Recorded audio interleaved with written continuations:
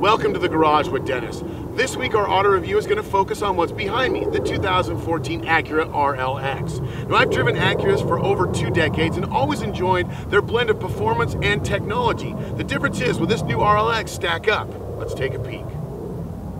Starting on the interior with the rear seats, Acura did a lot of homework and they knew that to compete in this segment they needed room in the back seat.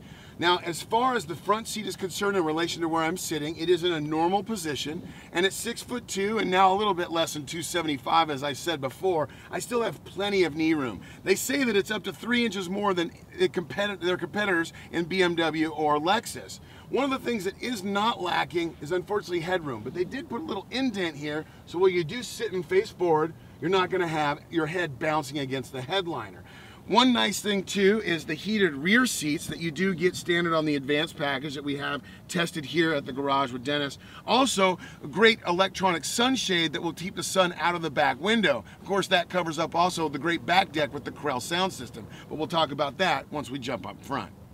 Now that we're in the front seat, it's where this Acura RLX really shines. Now, before I get into the materials, I want to talk about a few things that I nitpick all the time on new cars. I don't need a fancy slide rule electronic touch anything to turn the volume up. I want one little button, and Acura, you did that for me, and you put it on the steering wheel. Now, the basis of the entire center stack is an 8-inch navigation screen and a 7-inch, what you might call an operation screen. It'll handle things like switching back and forth from XM to radio, or even going through your basic settings for the car. But really what Acura has always done has made it very simplistic to use all the controls, and that's where this car really shines. You have heated and cooled front seat, heated steering wheel, and of course one of the things that you can adapt from this is the adaptive cruise control. We'll talk about that in a second when we get, jump on the outside and look at the whole looks of the car and of course the driving dynamics. But it comes down to one last thing in the front seat. It's every little piece that makes this car fun to touch. And I know that sounds kind of silly, but it's a mix of metals and materials. And even in the spot where you put your hand to close the door are three different materials that just gives the RLX a real feel of richness and luxury that you would expect for a car that's over $60,000. Now, as far as just the basic layout, sure, everything falls easily at hand. I like the gauge cluster. It's simple and easy. But I got to tell you, beyond anything out there, this car has one strength, and it's the front seat and its interaction between you, the driver.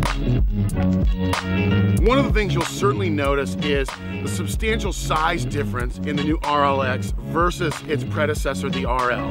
The car does have a two inch longer wheelbase, and it's certainly, the width has something to do with that comfort on the inside. It is two inches wider. As I will mention in the rest of this interview, there is three more inches of legroom, more than BMW or Lexus. But if you look at the lines of the car, they're certainly very conservative, but as far as an Acura goes, very aggressive. Powering the new 2014 RLX is a new 3.5 liter dual overhead cam V6 engine with VTEC and variable cylinder management. 310 horsepower and 272 foot-pounds of torque do outpower the older 3.7 model in the previous RL. EPA ratings are 20 city, 31 highway, and my overall average is about 23.5 miles per gallon. More importantly is the suspension on the new RL. We'll take a peek right now at the P-AWS or Precision all-wheel steer. And that is one of the biggest tech upgrades in the new RLX versus the previous generations. Now, several car makers have tried and failed at rear wheel steering, but the new P-AWS or Precision all wheel steer is something that's a little bit different than other rear wheel steering systems. This car actually has independent motors for each rear wheel and the way that it can control just the left or the right to change the dynamic or the ride of the car. One of the things that has always pestered Acura as far as becoming a performance brand is their always front wheel drive chassis.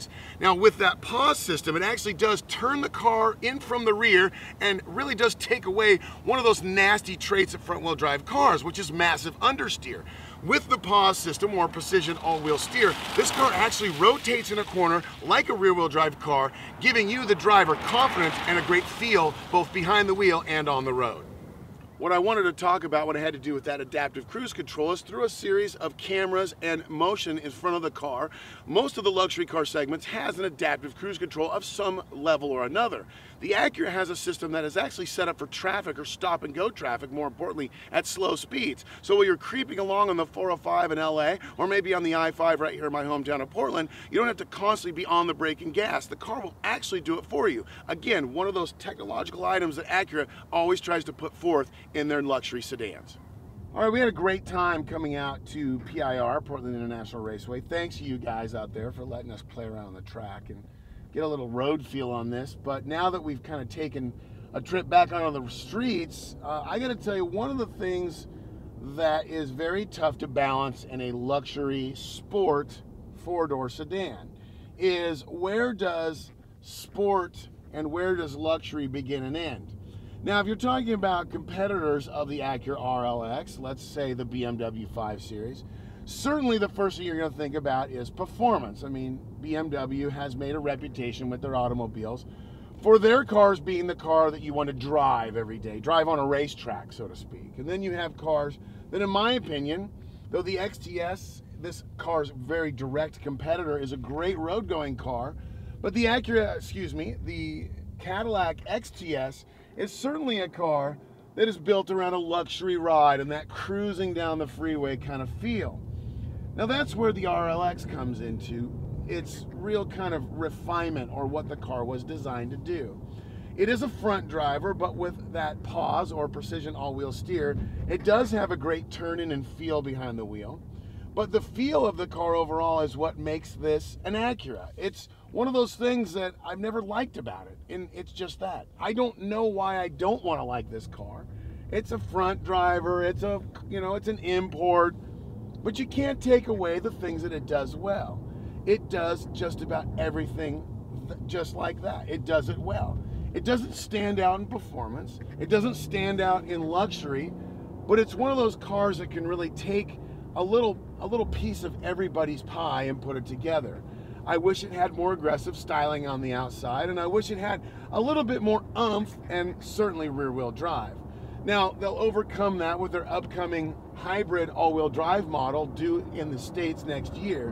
But for now, I gotta tell you, if you are shopping luxury vehicles, you're gonna go out and you're gonna look at the BMW. You're gonna look at the Lexus and you're gonna look at the Cadillac and several other cars that are in this segment but you gotta at least give the Acura a shot. Go by the dealership, drive one.